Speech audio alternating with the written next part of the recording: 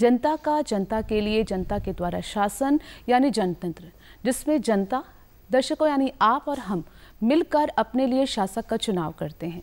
और जब बात चुनाव की आती है तो ये जानना बहुत ज़रूरी हो जाता है कि चुनावी प्रक्रिया का संचालन कौन कौन लोग और कैसे कैसे करते हैं। मतदाता के रूप में आपके हमारे कौन कौन से अधिकार हैं? इन्हीं सवालों के जवाब आज हम जानेंगे और विशेषज्ञ के रूप में आज हमारे साथ स्टूडियो में मौजूद हैं श्रीमती शालिनी चेतल जी। जिलाधीश उप जिला निर्वाचन अधिकारी आत्मविश्वास और ज्ञान से परिपूर्ण कर्तव्य निष्ठा के साथ अपनी जिम्मेदारियों को निभाने वाली शालिनी जी आपका स्वागत है। सबसे पहले हम बातचीत का सिलसिले का आगाज़ करेंगे और जानेंगे कि चुनावी प्रक्रिया की शुरुआत कैसे होती है। देखिए एक्चुअली जैसे हम एक आम जन इसको समझते हैं तो उनके लिए चुनाव की प्रक्रिया तब प्रारंभ होती है जब चुनाव अनाउंस हो जाते हैं। जब इलेक्शन कमीशन ऑफ़ इंडिया यानी भारत भारत का जो निर्वाचन आयोग है, वो ये बताता है कि ये तिथियाँ निर्धारित की गई हैं और इन तिथियों के मध्य में चुनाव होगा।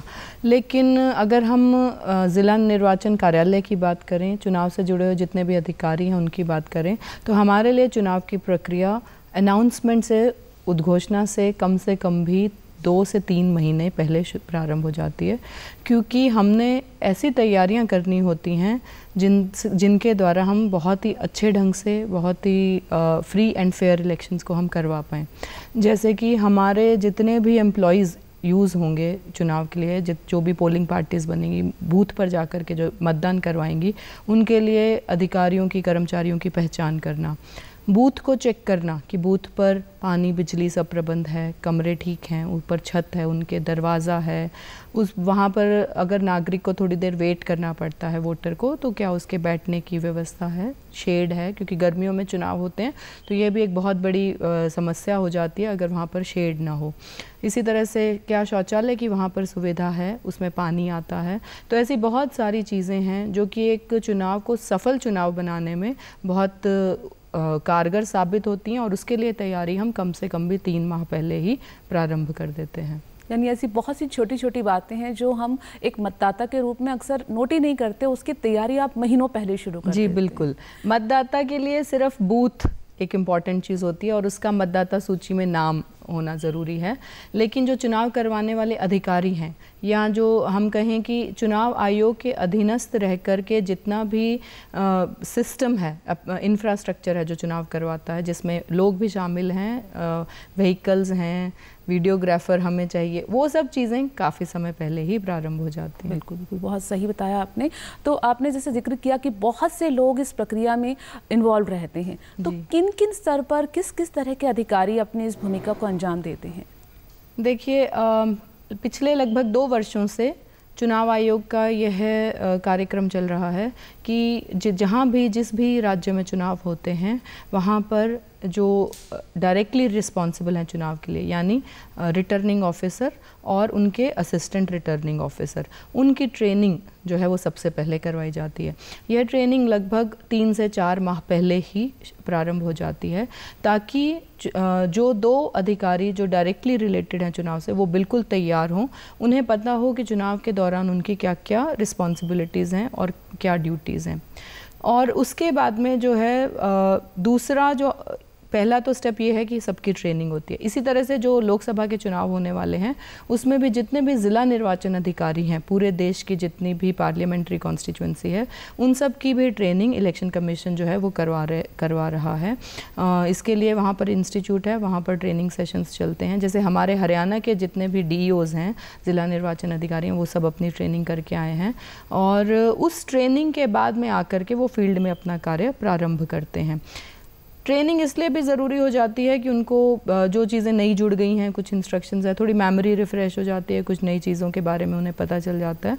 और ये सबसे इंपॉर्टेंट टूल है जो आज की डेट में उन्हें इस आ, कहते हैं ना कि सिपाही जब युद्ध में जाता है तो उसके पास हथियार होना चाहिए। तो ट्रेनिंग भी एक तरह से हथियार है अधिकारियों के लिए। फिर उसी तरीके से जब ये ट्रेनिंग लेकर के आते हैं उसके बाद में इसी तरह की ट्रेनिंग्स हम अपने असेंबली लेवल पर कराते हैं। जितने भी हमारे ईवीएम e की तैयारी करनी यानी वोटिंग मशीन जिसको हम कहते हैं, उसकी तैयारी करनी है। उसके लिए अलग से ट्रेनर्स होते हैं। अगर हमने कोई ड्यूटी लगानी है किसी की कि उसने फ्लाइंग स्क्वाड में काम करना है, यानी उसने शिकायत मिलने पर उसकी इंक्वायरी करनी है तो उनकी ट्रेनिंग होती है। फिर आजकल जो है वी वी पैट एक नया मशीन जुड़ गया है वो ई e के साथ में, जिसे हम कहते हैं voter verifiable paper audit trail. यानी जब मतदाता ई e में अपना एक बटन दबाएगा नीला, जिस भी मत अभ्यर्थी को वो वोट देना चाहता है तो उसका जो साइन, जिस सिंबल के आगे वो वो बटन दबाएगा, वो सिंबल उस एक कागज़ की पर्ची पर छप कर के आएगा, जो उस मशीन में उसको विजिबल होगी, उसको दिखाई देगी।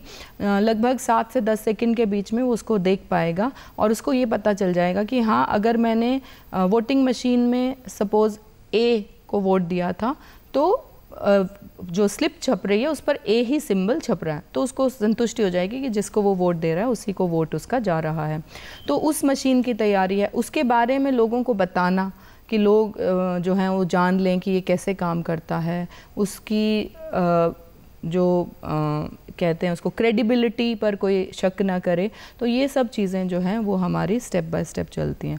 उसके बाद में एक्चुअली चुनाव की जो प्रक्रिया है वो प्रारंभ होती है। बिल्कुल सही। विश्वसनीयता पे सवाल नहीं उठना चाहिए ऐसी प्रक्रिया रहती है। दर्शकों यहाँ पे आपको बताना चाहेंगे कि श्रीमती शालिनी चेतल को जो भारतीय चुनाव निर्वाचन आयोग है के द्वारा एक मास्टर ट्रेनर के रूप में भी नियुक्त किया गया है। तो वहाँ पे आपकी भूमिका क्या रहती है? जी आ, मेरे लिए बहुत ही सौभाग्य की बात है कि मैं पिछले लगभग तीन वर्षों तीन से चार वर्षों से मैं इलेक्शन कमीशन के साथ में जुड़ी हुई हूँ। और इलेक्शन कमीशन जैसे मैंने अभी बताया ट्रेनिंग कराता तो उन ट्रेनिंग्स को देने के लिए उन्होंने पूरे देश में लगभग 280 के करीब मास्टर ट्रेनर्स का एक डेटा बनाया है उनको ट्रेन किया गया है। तो उन लोगों में से मैं भी एक हूँ और मुझे ये सौभाग्य प्राप्त हुआ है कि मैं अब तक अपने देश के 10 राज्यों में जा कर के मैं ट्रेनिंग दे चुकी हूँ और इस साल जो है मैंने अपने राज्य में भी दी है ट्रेनिंग। तो इत, बहुत अच्छा एक्सपीरियंस है चलिए बहुत बहुत बढ़िया। अब हम जानते हैं चुनाव आचार संहिता। क्योंकि जैसे ही चुनाव की बात आती है चुनाव की डेट्स की बात आती है तो एक शब्द अपने आप हमारे जहन में छपता सा चला जाता है चुनाव आचार संहिता। ये क्या होता है? देखिए, चुनाव आचार संहिता एक आदर्श आचार संहिता है और ये सभी पॉलिटिकल पार्टीज़ की देन है हमारे प्रजातंत्र को, मेरा ऐसा मानना है। क्योंकि इसमें जितनी भी बातें कही गई हैं चाहे वो पॉलिटिकल पार्टीज़ पर लागू होती हैं, चाहे चुनाव लड़ने वाले अभ्यर्थियों पर लागू होती हैं, चाहे वो वोटर पर लागू होती हैं, चाहे वो सत्ता में जो पार्टी है इस समय उसके ऊपर लागू होती हैं, ये सभी बातें जितनी भी हमारे राजनीतिक दल हैं उनके साथ में विचार विमर्श करने उपरांत। निर्वाचन आयोग के द्वारा निर्धारित की गई हैं। और क्योंकि उन्होंने हामी भरी है इस चीज़ को, उन्होंने एक्सेप्ट किया है कि हाँ इसको हम फॉलो करेंगे तो इसलिए ये उनकी तरफ़ से देन है हमारे प्रजातंत्र को। आदर्श आचार संहिता कुछ ऐसी चीज़ों पर रोक लगाती है, जो कि पोलिटिकल पार्टीज़ को या कैंडिडेट्स को या पार्टी इन पावर को नहीं करनी चाहिए, और साथ में वोटर्स को भी नहीं करनी चाहिए। या जो चुनाव करवाने वाले ऑफिशियल्स हैं, उनके ऊपर भी आदर्श आचार संहिता लागू होती है। जैसे कि पॉलिटिकल पार्टीज़ जो हैं वो एक दूसरे के योजनाओं की स्कीम्स की उनके कार्यशैली की तो आ, निंदा कर सकते हैं।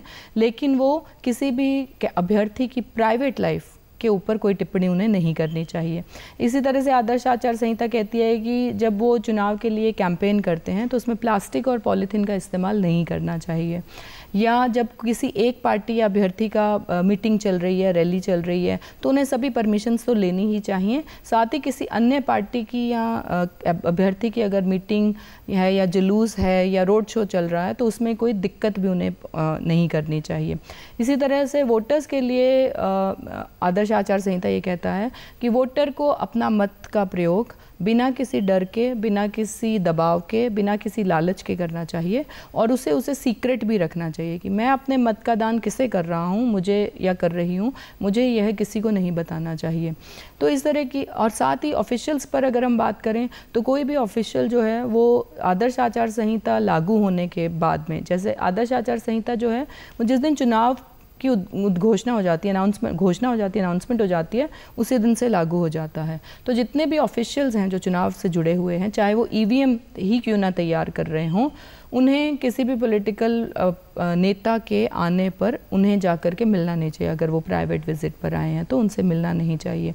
या किसी भी नेता की अभ्यर्थी की उन्हें मदद नहीं करनी चाहिए किसी भी तरीके से चुनाव में, ताकि वो उनके जीतने के संभावनाएँ बढ़ें, इस तरीके से कोई भी मदद नहीं करनी चाहिए। तो इस तरह से आदर्श आचार संहिता जो है, वो इन सब पर इस तरह से लागू होती है। और ये एक बहुत ही अच्छा इसको अडॉप्शन कहेंगे, बहुत ही अच्छी तरीके से इसको अडॉप्ट किया गया है, क्योंकि इसकी वजह से इलेक्शन कमीशन की न केवल क्रेडिबिलिटी बढ़ती है, हमारे निर्वाचन के पूरी प्रक्रिया की क्रेडिबिलिटी बढ़ती है, बल्कि जो स्टेक होल्डर्स हैं, चाहे वो वोटर है कैंडिडेट है, उनमें कॉन्फिडेंस बनता है कि फ्री एंड फेयर इलेक्शन होंगे, निष्पक्ष होंगे चुनाव और अपनी मर्ज़ी से किसी को भी हम मतदान कर सकते हैं और न केवल मतदान कर सकते हैं, बल्कि कोई भी अभ्यर्थी चाहे तो कोई भी व्यक्ति चाहे तो अभ्यर्थी बन सकता है चुनाव लड़ सकता है। बिल्कुल बिल्कुल सही कहा कि विश्वसनीयता बनी रहे चुनाव की निष्पक्षता बनी रहे। इसके लिए आप बहुत ज़्यादा दिन रात मेहनत करता है हमारा प्रशासनिक जो भी अधिकारी हैं वो। अब हम बात करें कि मतदाता के कुछ अधिकार भी होते हैं। जी। तो मतदाता के रूप में एक आम नागरिक के कौन कौन से अधिकार हैं? सबसे बड़ा अधिकारी मतदाता का है। पूरा इलेक्शन जो है, वो सिर्फ़ इसलिए होता है कि मतदाता को फैसिलिटेट किया जाए, उन्हें ये सुविधा प्रदान की जाए कि वे जिसे चाहें अपनी मर्ज़ी से स्वतंत्र होकर के अपने मत का दान उन्हें कर सकते हैं। मत, मतदान का प्रयोग करते समय मतदाता को न तो किसी का लालच हो, किसी भी वस्तु का अथवा कैश का, न वो किसी के दबाव में हो न वो अपनी जाति, धर्म, संप्रदाय या भाषा के आधार पर अपने से संबंधित लोगों को मतदान करे, सिर्फ़ इसलिए कि ये मेरे धर्म से या मेरे राज्य से संबंधित है या मेरी जाति से जुड़ा हुआ है। तो मतदान का अधिकार मेरे हिसाब से सबसे बड़ा अधिकार है जो मतदाता को है। और इस चुनाव में एक और एक चीज़ जुड़ने जा रही है, जिसमें हर एक मतदाता को ये अधिकार दिया जा रहा है कि अगर उसे लगता है कि कोई भी अभ्यर्थी किसी को डरा रहा है, धमका रहा है या अपना कोई सामान बांट करके या कैश बांट करके चुनाव की प्रक्रिया को प्रभावित करने का प्रयास कर रहा है तो सी विजिल नाम से एक एप्लीकेशन बनाई गई है जो प्ले स्टोर पर उपलब्ध है। इसे कोई भी व्यक्ति जिसके पास में स्मार्टफ़ोन है, वो इसे डाउनलोड कर सकते हैं। और इस सी विजिल की एप्लीकेशन में दो सुविधा है। आप चाहें तो उस वहाँ का फ़ोटोग्राफ ले सकते हैं और चाहें तो वीडियो बना सकते हैं। और दोनों बना करके आप तुरंत जैसे उसको अपलोड करेंगे, वो सीधा इलेक्शन कमीशन ऑफ़ इंडिया के पास में चला जाएगा। तो आप न केवल अपने मतदान मतदान का प्रयोग कर रहे हैं, उस उस अधिकार का उपयोग कर रहे हैं, बल्कि आप अभ्यर्थी को ये बता रहे हैं कि देखें प्रशासन की नज़र तो आप पर रहती है लेकिन अब मतदाता की नज़र भी आपके ऊपर है। बिल्कुल बिल्कुल सही कहा आपने कि कहीं ना कहीं ये नियंत्रण भी स्थापित करने में प्रभावी कदम साबित होगा। शालिनी जी जब एक युवा 18 वर्ष का होना है तो बहुत सी बातों के साथ साथ उसके एक चाव सा रहता है कि वो मतदाता बनने वाला है। तो एक नया मतदाता अपना पंजीकरण करवाने के लिए क्या करे? देखिए जितने भी हमारे 18 साल पहली बात तो ये है कि आप 18 साल के एक जनवरी जिस वर्ष में मतदाता सूची का रिवीजन हो रहा है, अगर उस साल में आप एक जनवरी को 18 वर्ष के हो गए हैं तो आपका नाम मतदाता सूची में जुड़ना चाहिए, आप उसके अधिकारी हैं। लेकिन केवल अधिकार से ही कुछ नहीं होगा, इसके लिए आपको एक फॉर्म नंबर छः भरना होगा। उस फॉर्म नंबर छः में आपने कुछ अपनी डिटेल देनी है उसमें आपकी आयु उसमें आपका एक रिलेशन कि। ऑलरेडी आपके मत, आ, परिवार के लोगों का नाम कहाँ पर है? जिसे हम ये निर्धारित कर पाएँ कि आपका बूथ कौन सा बनता है। तो इसलिए वो सब चीज़ें उसमें हम आ, आपको भरनी है। मतदाता को ये सुविधा दी गई है कि वो चाहे तो कागज़ को कागज़ के फॉर्म में आ, रूप में उसको फॉर्म को भर के बीएलओ को दे सकता है। अगर मतदाता के पास में ये सुविधा है कि वो ऑनलाइन भर सकता है तो नेशनल वोटर सर्विस पोर्टल है उस पर जा कर के वो रजिस्ट्रेशन अपना कर सकता है। वहाँ पर भी फॉर्म अगर वो भरता है तो वो उसके संबंधित ई e को भेज दिया जाता है। इसके अलावा आ, जो हमारा निर्वाचन आयोग है वो ये चाहता है कि मतदाता अपना रजिस्ट्रेशन कराने के लिए आए उससे पहले हम यानी निर्वाचन कार्यालय उन तक पहुँचे।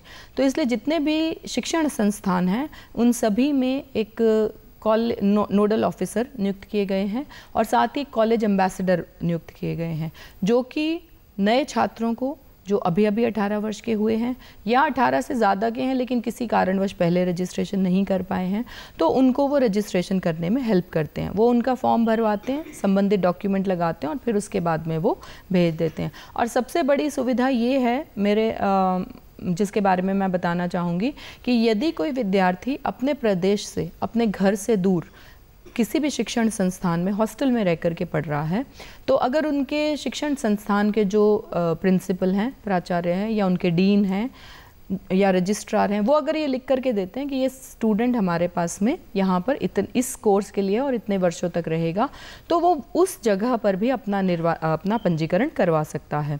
तो इस तरीके से बहुत से अलग अलग मोड्स को इस्तेमाल करके हम प्रयास कर रहे हैं कि ज़्यादा से ज़्यादा संख्या में 18 से 19 वर्ष के बच्चे जो है वो हमारे साथ जुड़ें। इसके अलावा ये सूचना क्योंकि 18 साल का होने पर उन्हें मिले ऐसा आवश्यक नहीं है। तो जितने भी आ, सीनियर सेकेंडरी स्कूल्स हैं उनमें इलेक्ट इलेक्टोरल लिटरेसी क्लब बनाए गए हैं।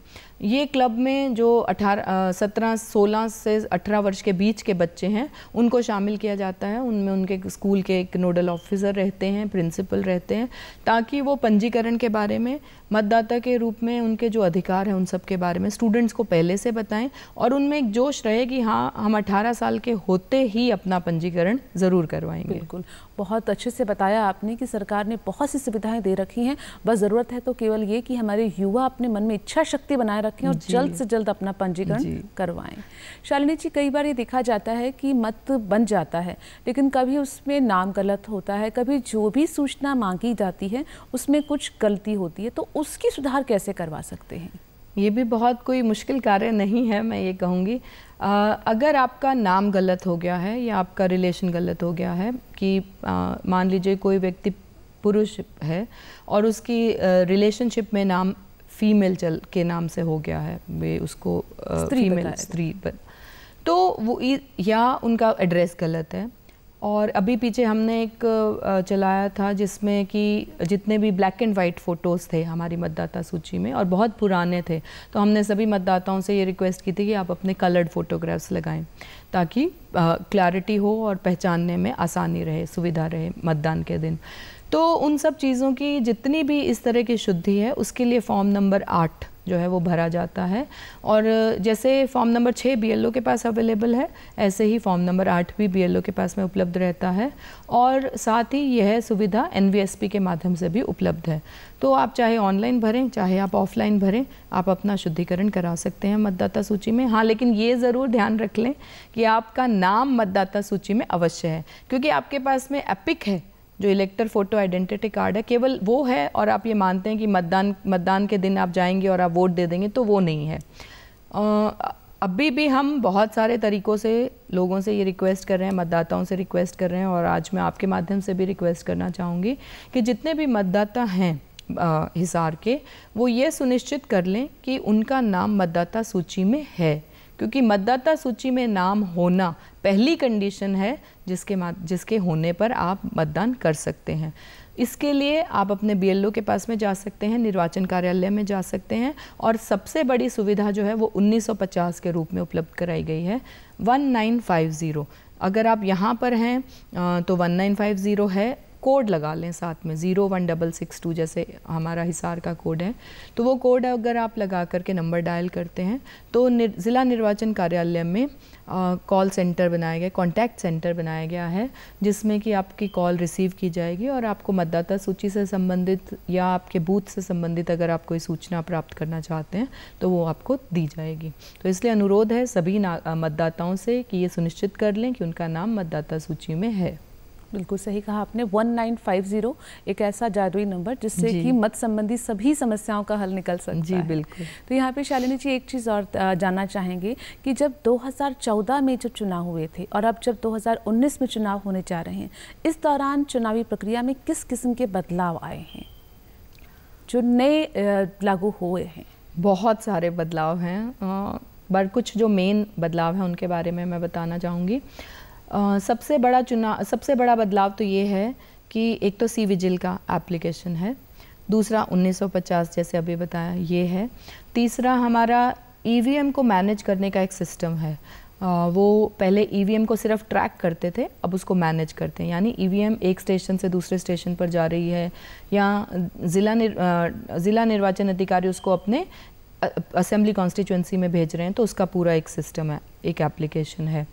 फिर इसके अलावा जो एक एफिडेविट देते थे नॉमिनेशन के समय पर अभ्यर्थी, जिसमें वो ये बताते थे कि उनके ऊपर अगर कोई केस है तो उसमें वो बरी हो गए हैं, या उनको कन्विक्शन हुआ है तो कितने समय का हुआ है। अगर केसेस अभी पेंडिंग हैं तो कहाँ पर पेंडिंग हैं, किस स्टेज पर हैं, उनके जो असेट्स हैं लाइबिलिटीज़ हैं, वो सारी सूचनाएँ वो देते थे। एक एडिशनल एफिडेविट देते थे, जिसमें वो बताते थे कि किसी भी सरकारी विभाग के प्रति उनका कुछ देनदारी है या नहीं है। अब इन सब चीज़ों को मर्ज करके एक सिंगल एफिडेविट बना दिया गया है, जिसमें उसको ये सारी सूचनाएँ देनी है। इसके अलावा परिवर्तन ये किया है कि जो नॉमिनेशन करते हैं, वो नामांकन पत्र भरते हैं, उससे संबंधित जितने भी डॉक्यूमेंट्स हैं, वो सारे के सारे वेबसाइट पर अपलोड होंगे। एक एप्लीकेशन है, उसके माध्यम से वो अपलोड होंगे।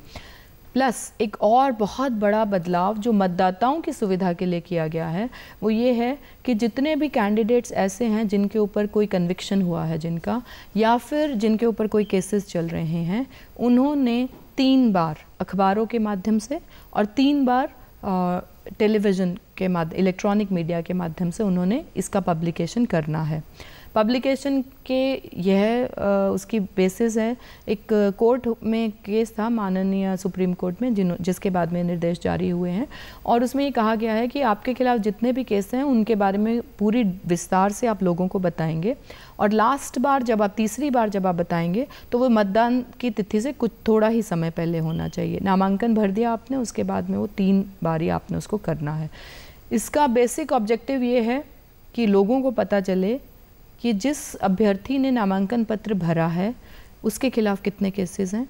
कितने ऐसे केसेस हैं जिसमें उसे आरोपी माना गया है, उसको सिद्ध हुआ है, आरोप उसके ऊपर कन्विक्ट किया गया है, और उसको कितने ऐसे केसेस हैं जिसमें कुछ भी सज़ा हुई थी पहले?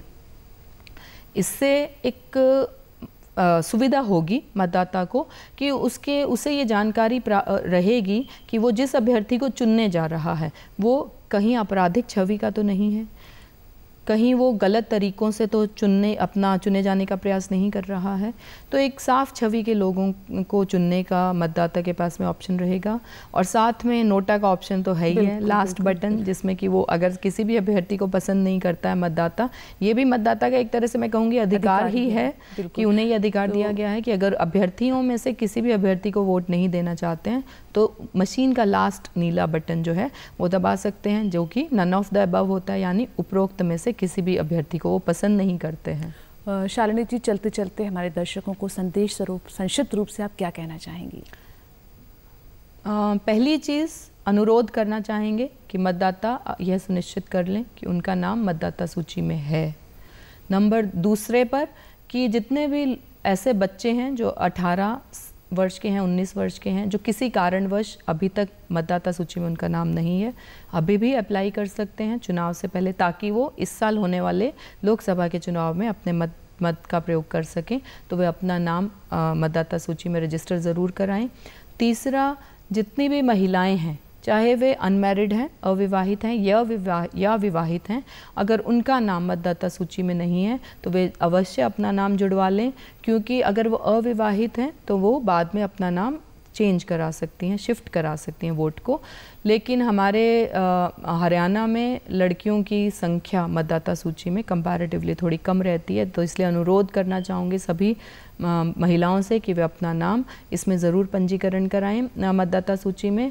और सभी मतदाताओं से यह भी अनुरोध करना चाहेंगे कि जब आप अपने मत का प्रयोग करें तो बिल्कुल बिना किसी दबाव के बिना किसी आ, किसी का पक्ष लिए जाति या, या धर्म के आधार पर बिना डरे बिना किसी लोभ के बिना किसी लालच के करें। क्योंकि जब आप मत का प्रयोग इस तरीके से करेंगे तो ये आप सुनिश्चित करेंगे कि आप जिस नेता का चुनाव कर रहे हैं वे आपके बारे में सोचेंगे और बहुत अच्छी नीतियाँ बनाएँगे। बिल्कुल बिल्कुल। शालिनी जी आपका बहुत बहुत धन्यवाद। आप आज यहाँ पे आई और आपने हमें कीमती जानकारी दी। दर्शकों विश्व का सबसे बड़ा लोकतांत्रिक देश हमारा भारत। यहाँ जनतंत्र परिपक्व हो चुका है, जड़ें जमा चुका है और अगर हम इसकी सफलता की बात करें तो इसकी सफलता निर्भर करती है आप पर और हम पर कि हम एक मतदाता के रूप में अपनी ज़िम्मेदारी को कितना ईमानदारी से निभाते हैं।